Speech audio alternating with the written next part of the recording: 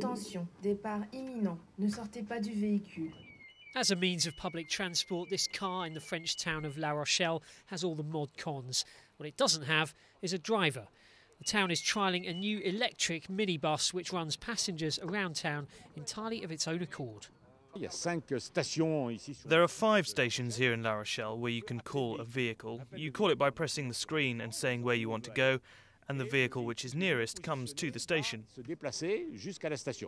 The driverless cars run on demand like an elevator, with the waiting time displayed at the stations. The vehicles are equipped with laser scanners to detect bikes, pedestrians, or other obstacles along the route.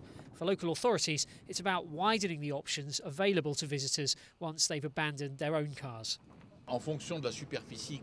Given the area we'd like to cover, La Rochelle would need at least 20 vehicles like these for people to be able to get around quickly and not have to wait for one to arrive.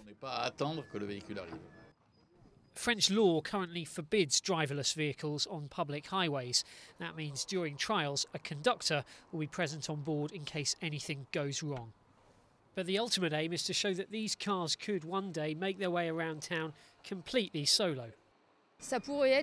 I don't mean next year, but in the future, this could be a way of making sure all the cars can go back to their base stations by themselves without any physical intervention.